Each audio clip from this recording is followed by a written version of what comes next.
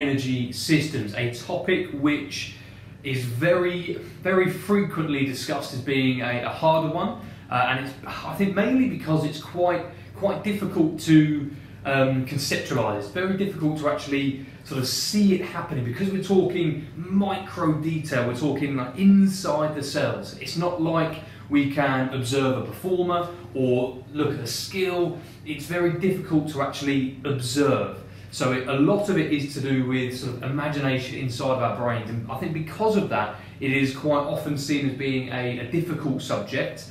And you know, if, if you are following the specifications, um, you know, as they're laid out, it quite often comes in at the start as well. When you know, it's great to know what the energy systems are, so then for the rest of the specification, you're able to apply your understanding. But sometimes it's better to revisit this uh, often throughout the course, and you'll see that every time you do revisit it, because you've got an understanding of everything else, the energy systems starts to make sense as well. So if you are tuning in and it's early on in your course, don't worry. If it is uh, quite confusing at the moment, it will begin to make sense throughout the course.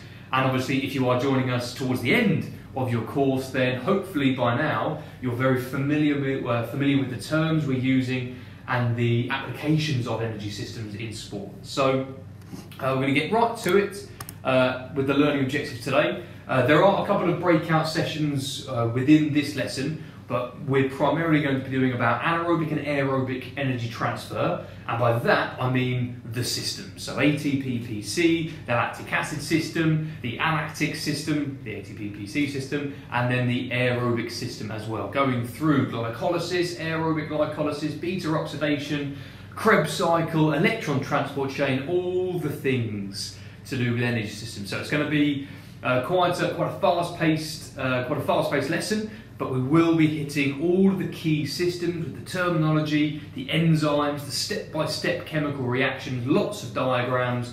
So get pen and paper ready to jot down the key phrases, definitions, get ready to draw the arrows on the different systems.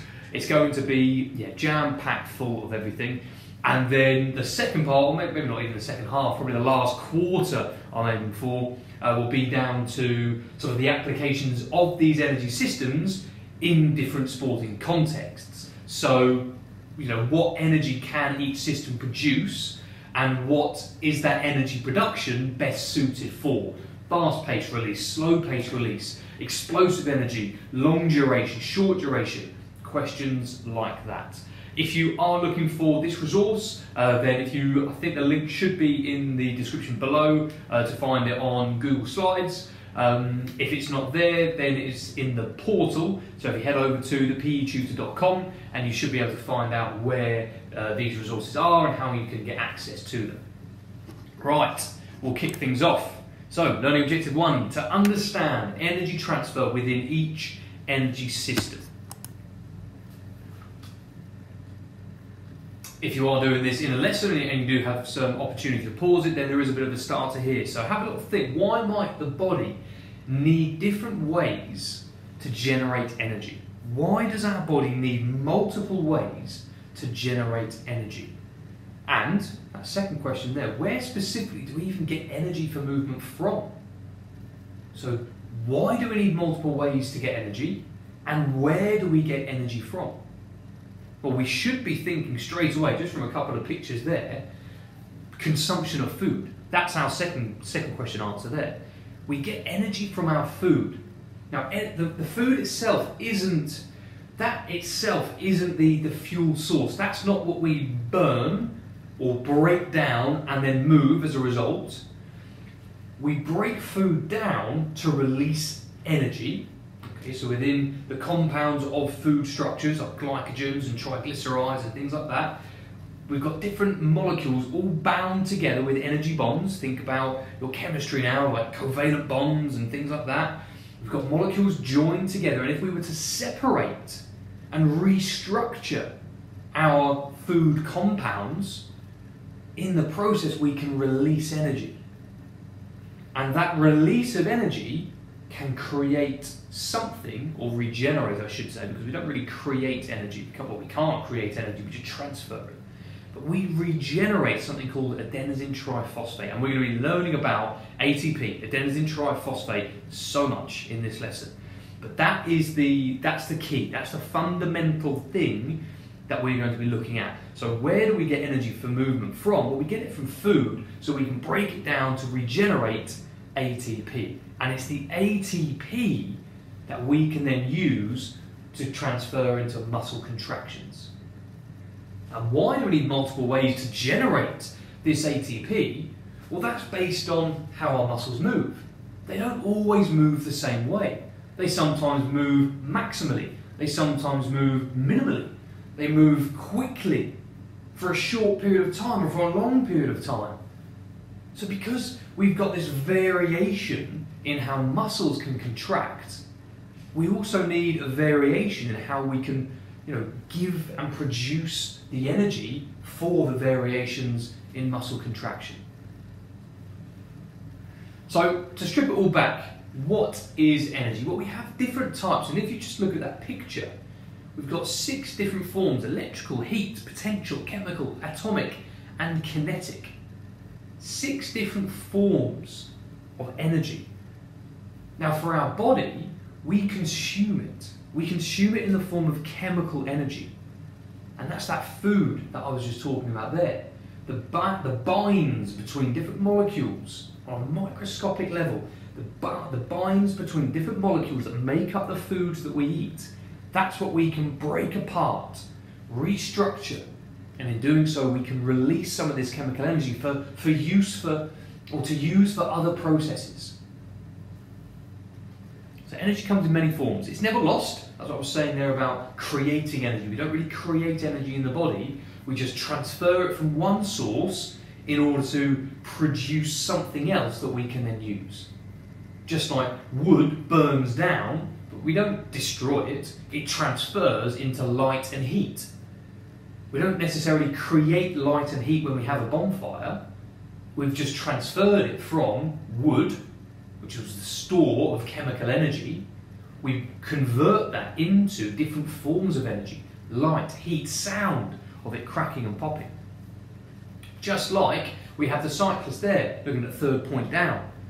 This person on the bike, they've got kinetic energy, movement energy. If they're going downhill, they're probably availing of potential energy, which is the, the, the, the force of gravity or the work of gravity on objects. So as gravity pulls something down, that's potential energy. So if this cyclist is, is rolling downhill and they might be pedaling at the same time, that's kinetic and potential energy. Well, when that person goes to brake and slow down, we don't just get rid of the potential and kinetic energy, we transfer it into possibly the heat energy. You know, as the pads rub against the brake, that friction that we generate. Or we might have a squeaky brake, so it generates, it converts into sound as well. So we've got this transfer of energy all around us, and we've got the same pro or similar processes occurring inside of our body, where we consume food, we consume chemical energy, we then have reactions occurring that can convert that chemical energy into kinetic energy, our own movements. And the, the fundamental thing, what it comes down to is ATP. So I said this at the start, adenosine triphosphate. So ATP, adenosine triphosphate, where we have an adenosine molecule, we then have three phosphates or three phosphorus molecules. And if we were to bind all of these together, so we have one adenosine and then three phosphate molecules, we create this new compound, adenosine triphosphate. Tri for tricycle, tri meaning three. It's important to remember that, tri for three, because next we're going to be looking at adenosine diphosphate, ADP, because di, think dissect, means to split into two. Di is for two, tri is for three. So adenosine triphosphate, one adenosine, three phosphate molecules all bound together. And this is the currency of our body. This is what we use uh, in the, the, most, the most microscopic spaces inside our muscle cells, we have adenosine triphosphate compounds, which we break apart, and that converts into kinetic energy. If you've ever wondered how we contract a muscle, it's because we've got adenosine triphosphate inside, deep inside our muscle, inside our muscle fibers, and we have enzymes that break these down. And as they break, they cause muscles to move. So even though we consume carbohydrates, proteins, fats, vitamins, minerals, fiber, it's, it's the breakdown of those that lead to, that almost funnel down into the production of ATP. That's why we eat. We consume food to convert into ATP. It's then ATP that we use inside of our muscles to break down, to convert into movements.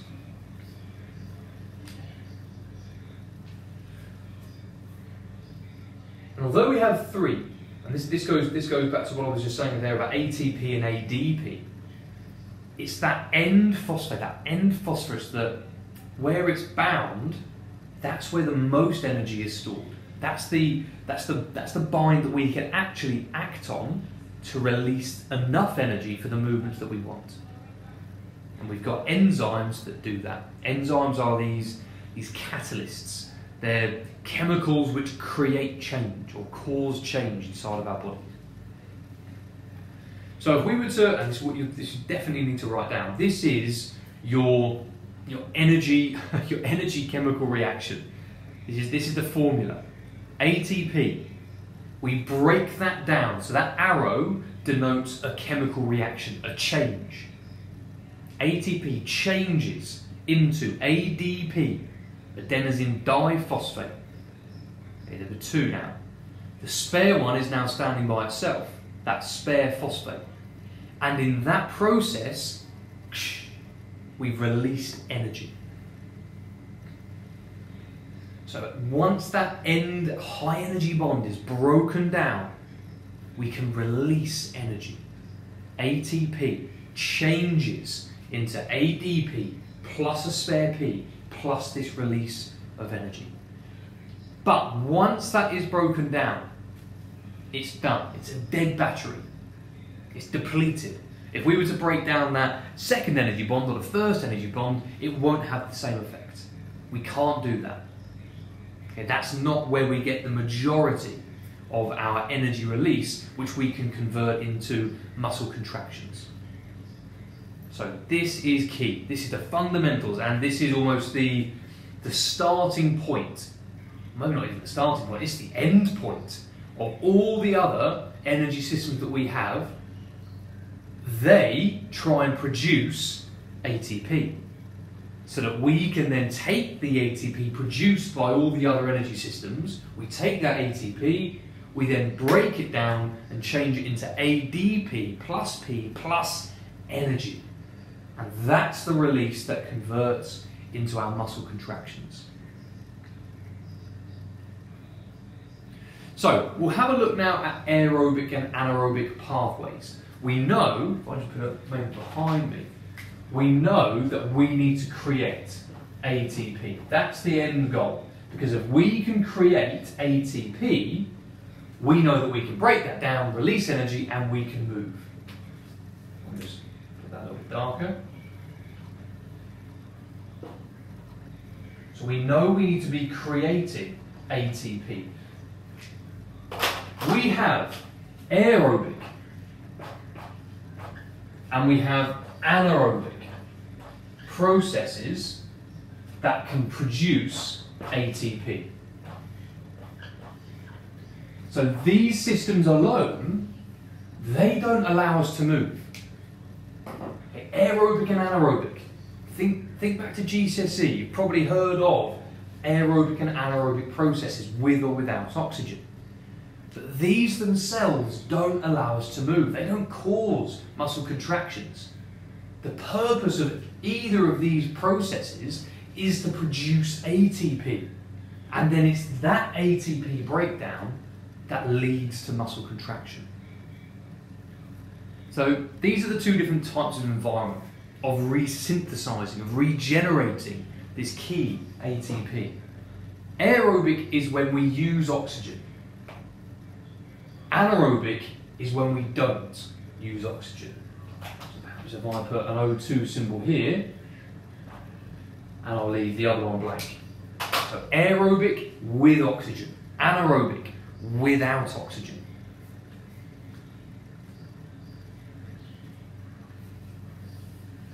And it is important that our body can use combination of the two. You know, to train and to only be adept at one, that will put you in a in a state, let's say, where you are suited very well to some sporting environments but not others. It turns you into an extreme. Which, you know, if you are, if you are pushing for that, fantastic. If you are pushing to be the world's best sprinter, for example, then training one form and improving one form of energy pathway, that could suit that solo performance. An endurance runner, they might be fantastic at using oxygen and they train to use aerobic pathways so well to regenerate ATP. And they do so much of that, which is good for their performance in endurance events. But if they neglect anaerobic training, then they might not have any speed. They might not have quick access to energy. Which goes back to the starter question of why do we need multiple ways to produce energy? Well, it's because sport and our muscles are always facing a variety of demands. So to limit ourselves to training only one pathway, that limits our options of performance. So we need to be able to use both types. It says there on the right hand side, that second point, exercise intensity can fluctuate. Therefore, our production of energy needs to be able to fluctuate as well.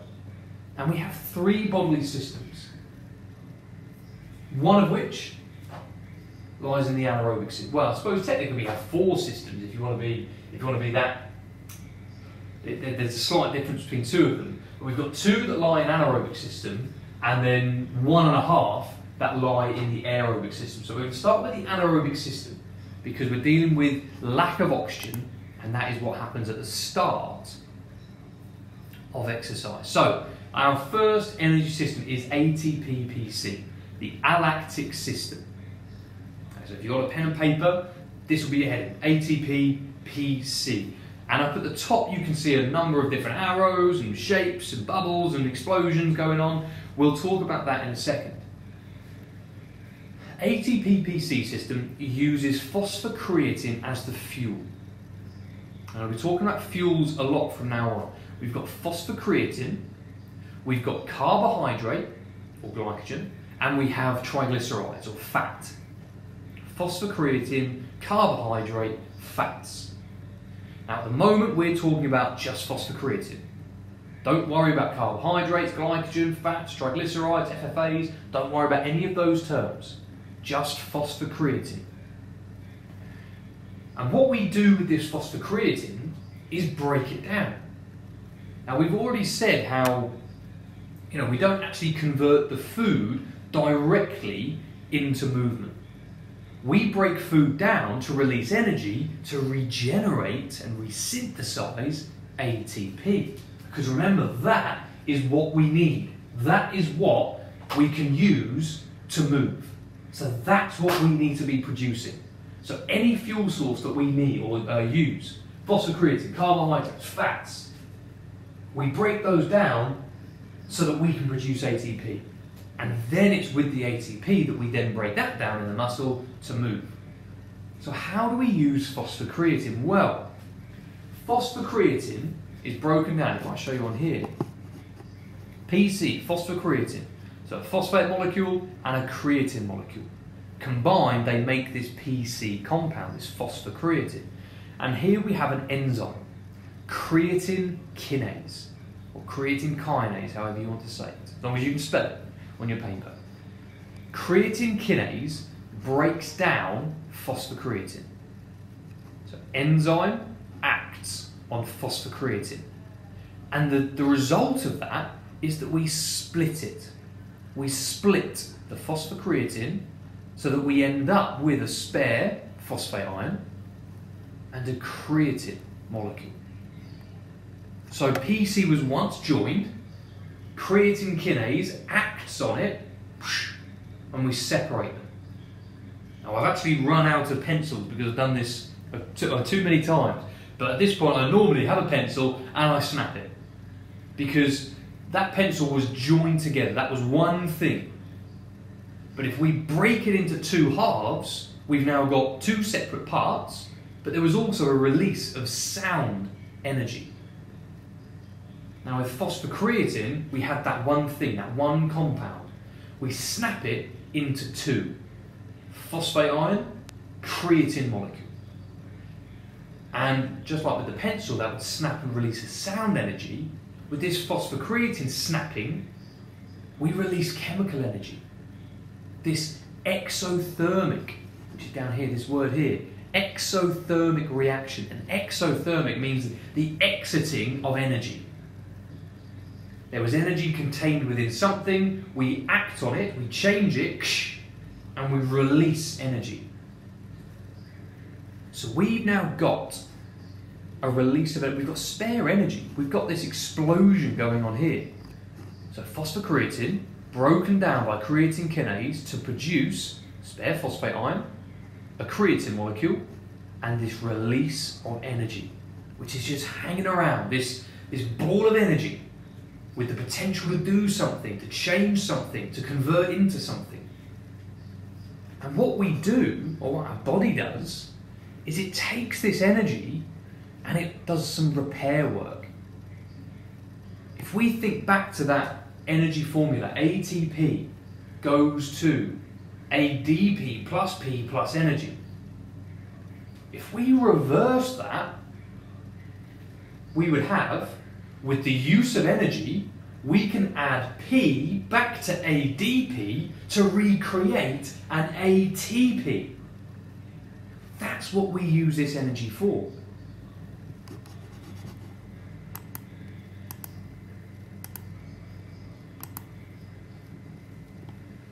So we've just converted this phosphocreatine fuel into a release of energy which we can then use to regenerate a brand new ATP.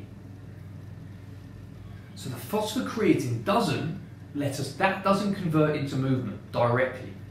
It converts into the resynthesis of an ATP, which then gets broken down by ATPase to release energy.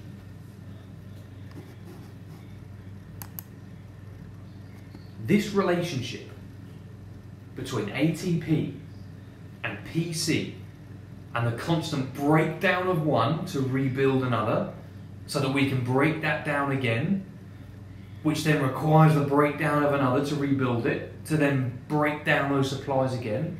That's called a coupled reaction.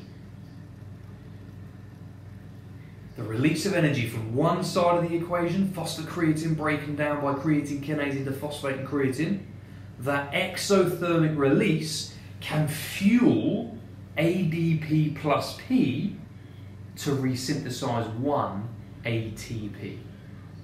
That can then be used for the breakdown in muscle to release energy for kinetic energy. So that's energy system number one. And that is over here, if I quickly make myself a little bit bigger for you. So over here on the anaerobic side, we've got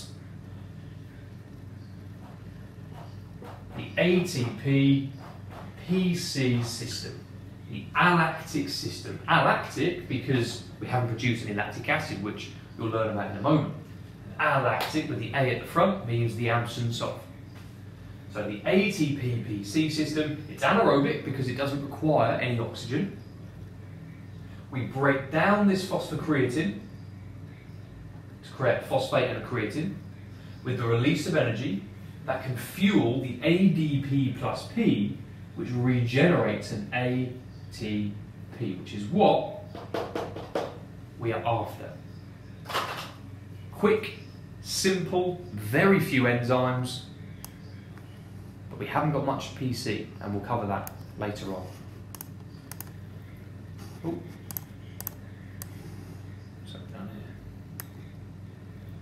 So next one, we have anaerobic glycolysis. Fancy words there, anaerobic and glycolysis. Anaerobic meaning it doesn't, still doesn't require oxygen to complete these processes. Glycolysis, this gives you a clue as to what fuel source we're now converting. So phosphocreatine was our first fuel source. Glycolysis uses glycogen. And glycogen derives from carbohydrate. So phosphocreatine was the ATP-PC system. Our second one is going to be anaerobic glycolysis. Anaerobic glycolysis. And what happens here? Well, glycogen, just looking at the first paragraph here, glycogen is broken down by the enzyme glycogen phosphorylase. Glycogen phosphorylase. And we call the product of that glucose. So we're up here. Glycogen gets broken down, that blue arrow, into glucose by what? Glycogen phosphorylase. So again, remember, an enzyme is a catalyst. It's something which creates change inside the body. It's a chemical. Glycogen phosphorylase breaks down glycogen into glucose. Now, glucose needs to be broken down into something else called pyruvic acid. What causes that? Phosphofructokinase, PFK, phosphofructokinase. And in that process, in that conversion from glucose to pyruvic acid, energy bonds are shifted and moved and broken and restructured. Just like with our phosphocreatine getting broken apart, it released energy. So too does glucose. Glucose being broken down into pyruvic acid releases energy. And there's enough energy to refuel ADP plus P twice. I'll say that again. When we break glucose down into pyruvic acid using the enzyme phosphofructokinase, we release enough energy to complete two lots of adenosine diphosphate plus phosphate, creating 1 ATP. And we can do that twice. So we say that the energy yield for anaerobic glycolysis, anaerobic because we're not using oxygen, glycolysis because we're using glycogen into glucose into pyruvic acid, the energy yield is 2 ATP. Now the energy yield for the ATP-PC system, or one phosphocreatine, created one ATP. So the energy yield for the ATP-PC system was 1. Whereas the anaerobic glycolysis is 2. Might be easier if I take those away. So energy yield of 1 for ATP-PC system, but energy yield of 2 for the anaerobic glycolysis. It's the role of these enzymes. We're using glycogen phosphorylase, we're using phosphofructokinase to start off with a big chunky carbohydrate, to break that down into a smaller glycogen, to then break that down into a smaller glucose, to then break that down into pyruvic acid. As we break all of that down, so like that pencil analogy, snap it once, we release energy. Snap it again, release energy. Snap it again, release more energy. It's still essentially the same thing, but it's just in different parts, probably missing a few bits and pieces during the snapping process. Just like this. I always compare it to a big bar of Cadbury's chocolate. Now imagine you've got one of them one kilo bars, that's a carbohydrate, too big to eat in one mouthful or in one go, potentially. And you snap it into perhaps rows, or you snap it into quarters. Well, as we break the carbohydrate down, that big one kilo bar, we break that down into four separate glycogens. But that's still a little bit too big for one mouthful. So we need to break it down into something smaller. We need to break it down into glucose. So we snap off all of the individual squares from each glycogen quarter of that one big carbohydrate. Now, those tiny little glucose, that is manageable. That is something that we can consume and transport very easily. And that is what we break down into pyruvic acid, and in the process, releasing enough energy for 2 ATP, for ADP plus P plus energy, ADP plus P plus energy, creating 2 ATP. Now, pyruvic acid, it requires oxygen to be broken down any further. And at the moment, as we are in anaerobic glycolysis, we don't have oxygen. Therefore, pyruvic acid can't just sit there. It's got nowhere to go because there's no oxygen yet. We can't break it down any further. So we have to turn it into something else. And we turn it into lactic acid. You've probably heard of this. Lactic acid is that it's, the, it's a substance inside your muscles when you're working hard that starts to burn, starts to make your legs feel heavy and fatigued, tired. You can't contract as well. Lactic acid is the byproduct of anaerobic glycolysis. So before, when I was telling you the ATP-PC system was called the lactic, sorry, the ATP-PC system is the alactic system because it doesn't produce lactic acid. Well, what we're talking about now, the anaerobic glycolysis stage, that's the lactic acid system because we're producing lactic acid. So I want you to think now, when or what sort of movements do you have to produce in order to create lactic acid in your muscle to make you feel uncomfortable? When do you experience lactic acid? Going out for a walk? Playing darts? Playing snooker? Going for a light jog? Lying down? Or is it sprinting? Is it doing wall sits? Is it doing as many press ups in a row as you can? Is it doing the bleep test? Those higher intensity movements where you're working hard for a maximal period of time, that's when we use lactic, or that's when we use the lactic acid system. That's when we have to rely on anaerobic systems because we can't, we can't breathe in enough oxygen to break down enough aerobically to produce enough ATP to sustain that high intensity movement. We have to rely on systems which don't require oxygen. But the trade off of that is that we produce lactic acid as a result. Now, this is starting to lead into what we're going to talk about towards the end to do with use in sport. But right now, what you need to know is anaerobic glycolysis. Glycogen to glucose to pyruvic acid to release enough energy for 2 ATP.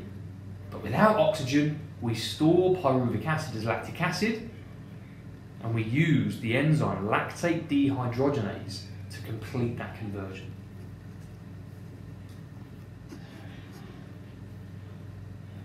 So, aerobic glycolysis. The difference? We now have oxygen because it's aerobic. Now, this happens after anaerobic glycolysis. In fact, the way that we're dealing with them today is time ordered. We use the ATP-PC system first. That's instant energy. Anaerobic glycolysis, that's pretty much instant. Know, it kicks in after about five, six, seven seconds of movement, but with the production of lactic acid, it quickly burns out. It quickly tires us out and we have to stop. But if we have a moderate intensity and we can sustain exercise and we allow our body enough time to get oxygen in, that's when we can start to use aerobic glycolysis. So yes, we have oxygen available, but in order to get to that pyruvic acid, so remember where we were talking about pyruvic acid, and in order to break it down any further, if I just move myself, oh,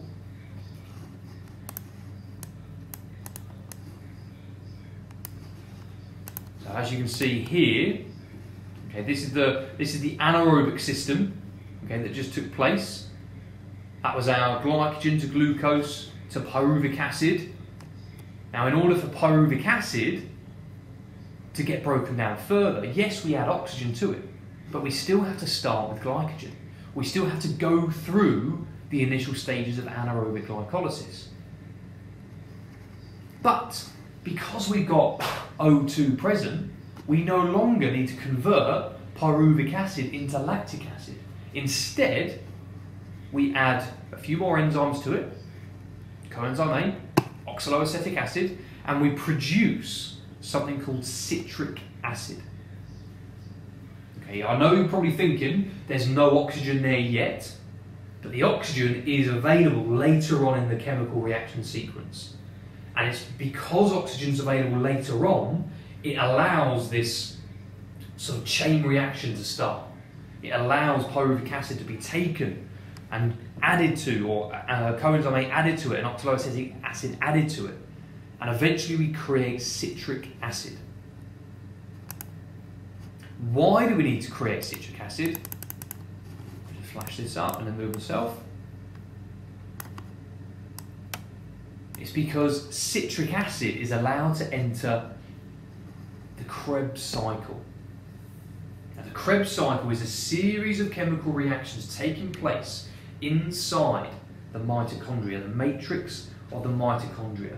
So far, the anaerobic glycolysis, okay, everything on this side, that's happening inside the muscle sarcoplasm, the space around the mitochondria, the space around the muscle cells.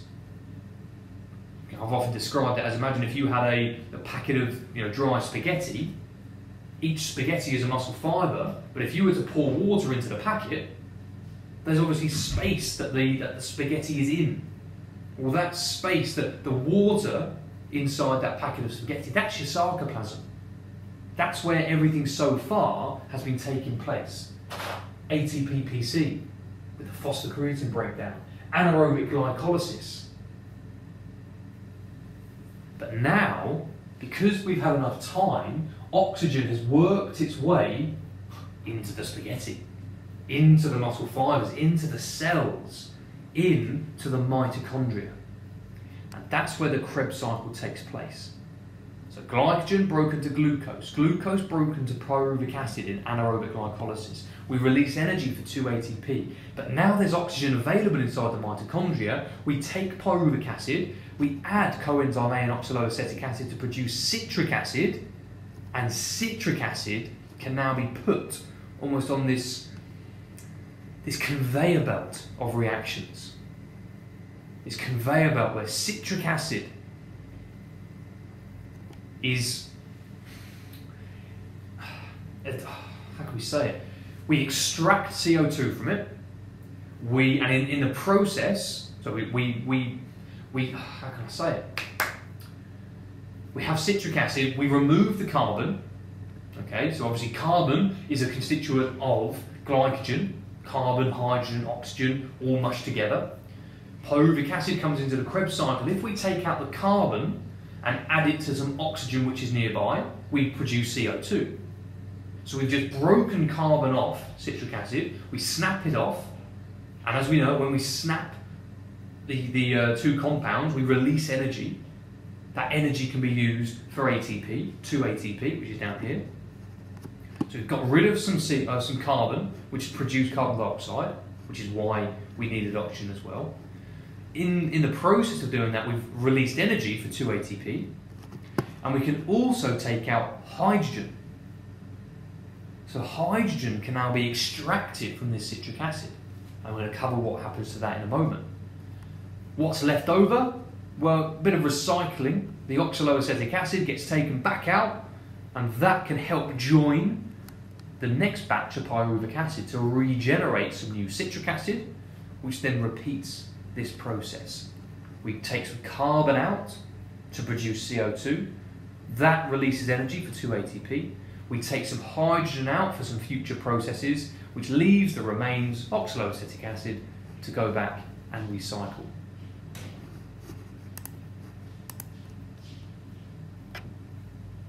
hydrogen. You'll notice, all that is there is the mitochondrial matrix. You'll notice that we've got the Krebs cycle just here, and the hydrogen we just took out is now entered into this next stage. This next stage is called the electron transport chain, still aerobic. So at the moment, on our aerobic side, we've got the Krebs cycle, and we've got the electron transport chain, the ETC. This is where the magic happens. Because the electron transport chain, this allows the hydrogen to pass through the cristae, the central part of the mitochondria. And as it does this, because hydrogen is by itself, we can start to, to move the positive ions, the positively charged hydrogen, and the negatively charged hydrogen. We can start to separate these. And in doing that, we, we create this, this chemical gradient. We create, it's almost, it's not going to be magnetized, but imagine if you had, you know, a magnet put onto positive and a magnet put onto negative, obviously opposites attract. And if you were to put them close enough, there would be this, this pull, this gradient, this difference between magnet or magnetic positive and magnetic negative. This difference creates this charge in between, this potential for energy. And by doing the same thing with hydrogen, by putting positive hydrogen and negative hydrogen on either side, we sort of split them and separate them but keep them close enough that we generate potential because they want to mix again and we're keeping them apart. This, this production of chemical energy, we can use this to fuel ATP resynthesis. And we can use that for, to resynthesize 34 ATP. 34. So far, we've got an energy yield of 1, we've got an energy yield for 2 in anaerobic glycolysis, we've got an energy yield of 2 in the Krebs cycle. That one batch of hydrogen that comes down, and we separate into positive and negative, we can generate 34 new ATP from this one completed process. Now, once hydrogen is used and it's finished with, we add it to the oxygen because we're in an aerobic process. H plus O, H2O, water. So if we think about the byproducts that we've gone through now in aerobic energy, well, following anaerobic glycolysis, we had the pyruvic acid, and the pyruvic acid was converted to citric acid. Citric acid went round the Krebs cycle, and we released CO2 and energy. The hydrogen then came into the electron transport chain, and after a series of chemical processes, that hydrogen attached to some more spare oxygen to produce H2O, to produce water. So glycogen plus oxygen leads to the production of energy, the production of carbon dioxide, and the production of water. Now that would probably be the, the chemical formula that you were given in GCSE level, be it PE, science, whatever. That's the, that's the formula that you, that you probably know already. And you're probably thinking, well, where did that CO2 and water come from? Well, this is where.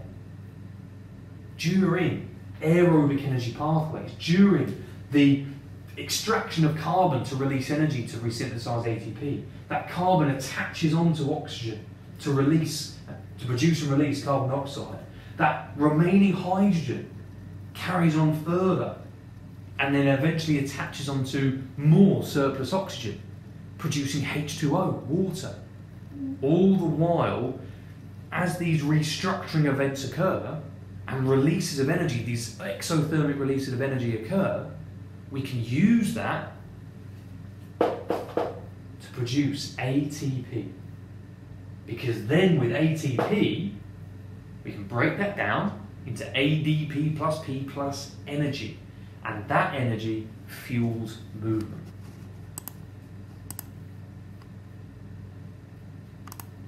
So, this is, this is everything not ATPPC, but from anaerobic glycolysis. So we start with glycogen up at the top. Glycogen phosphorylase acts on glycogen to produce glucose. phosphofructokinase acts on glucose to produce pyruvic acid, in the process releasing energy for 2-ATP. But at the moment there's no oxygen. Therefore pyruvic acid is converted into lactic acid through the enzyme activity of lactate dehydrogenase. Anaerobic glycolysis happening in the sarcoplasm. Now that there's oxygen available, we're about 60 seconds, 90 seconds, two minutes into exercise. The cardiorespiratory system has responded to our movements. O2 is being delivered to the muscle and working tissue. The pyruvic acid can now convert bish bash bosh into citric acid because of the actions of coenzyme A and oxaloacetic acid. The citric acid can now enter the Krebs cycle, which is a series of rotational chemical reactions during which carbon is taken out, producing CO2. During that snapping process of carbon, that releases energy for 2-ATP. We've taken out carbon, that leaves us with hydrogen. Everything else, oxaloacetic acid, that can go back in to future reactions. This hydrogen then comes out into the electron transport chain deep inside the mitochondria, the cristae of the mitochondria. Hydrogen, oh, hydrogen is sorted into positive and negative.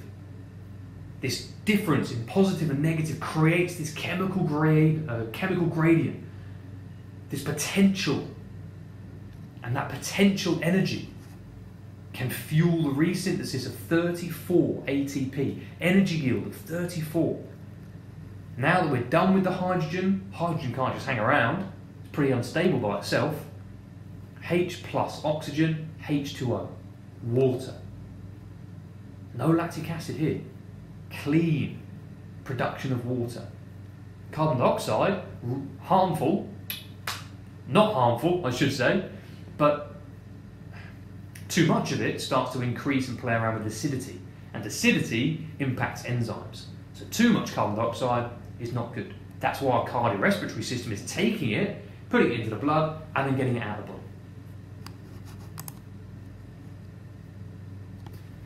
So there are three main systems, ATP-PC, anaerobic glycolysis, and then aerobic glycolysis, using the Krebs cycle and the electron transport chain. The ATP-PC system, that relies on phosphocreatine as the fuel. Everything else that we've spoken about relies on glycogen as a fuel. Beta oxidation is using fats or triglycerides, or as they're also called, free fatty acids. Now, free fatty acids require more oxygen than everything else. Okay, roughly speaking, about 15 to 20% surplus. So if you're exercising and you run out of glycogen, think three or four hours into a marathon, if you run out of glycogen, you'll have to reduce your movement by 15 to 20%, but keep your respiration and your cardiorespiratory system at the same level of activity.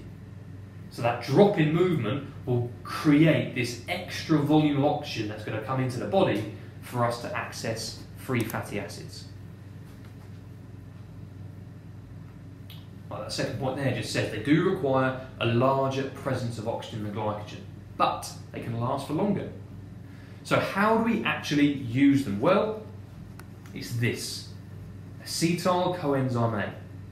Because if we think back, I'll just quickly it back to here, at this point here, so following aerobic glycolysis, pyruvic acid is converted into acetyl coenzyme A when we add the enzyme coenzyme A. Well, acetyl coenzyme A, if I quickly flick ahead,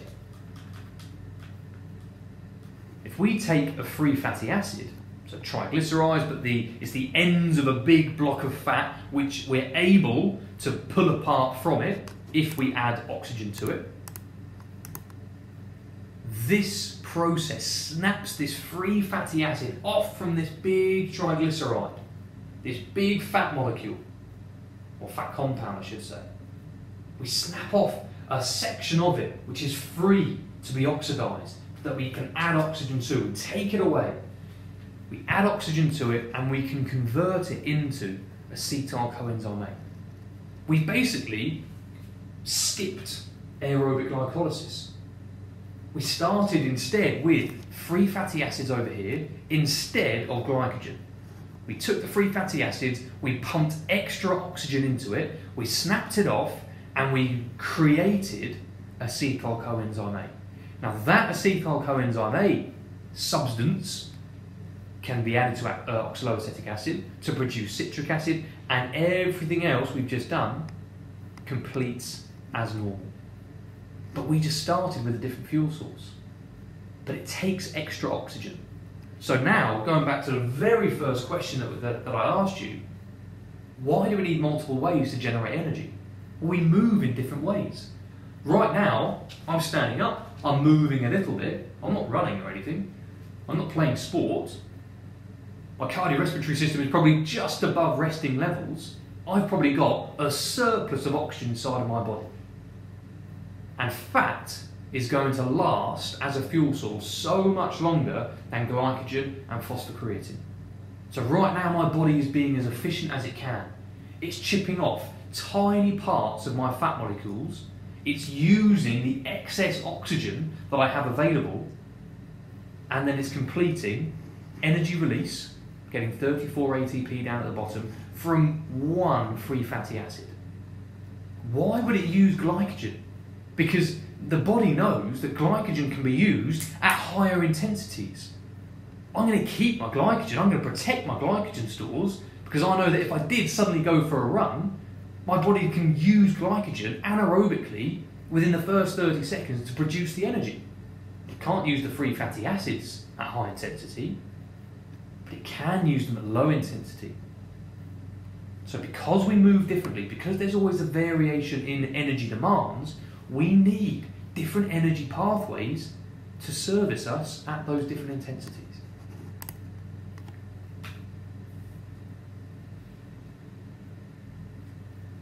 That's what I was saying just then, in that blue paragraph. Furthermore, gram for gram, FFAs, free fatty acids, triglyceride, fat sources, gram for gram, they can be used for longer. They can complete more ETC cycles. They can complete more Krebs cycles. There's more of it to go around. So the body can use one gram of fat for longer than one gram of glycogen to produce the same amount of energy. The only trade-off, free fatty acids, they require more oxygen. So we don't always have that option available. Because if I suddenly went into a brisk jog, I wouldn't have that surplus. My cardiorespiratory system would be working at high intensity and there wouldn't be spare oxygen going around, so I wouldn't be able to access the fat. So, some time-out tasks, and I think we're going to we're going to leave it there for today because that was a lot of a lot of information, and we did sort of touch on uh, sort of sporting applications throughout that. So we are going to hold it there for today. But there are a couple of questions or tasks for you to go away and do now, and it's mainly to summarise the energy systems that we've just been looking at. So what are the enzymes at play in the ATP-PC system? In anaerobic glycolysis, in aerobic glycolysis, in the Krebs cycle, in the electron transport chain. What are the enzymes? What's the catalysts for change? And then, what's the difference between aerobic and anaerobic? And although we're going to be doing it next lesson, have a think. What sporting implications might there be for the differences in these energy pathways? That's what you need to be thinking about. So have a look through those questions. Uh, obviously, after this after this class, you can pause it. If you're on demand, you can rewind it uh, as much as you like. Um, but yeah, have a look at those questions. Really get to grips with those diagrams.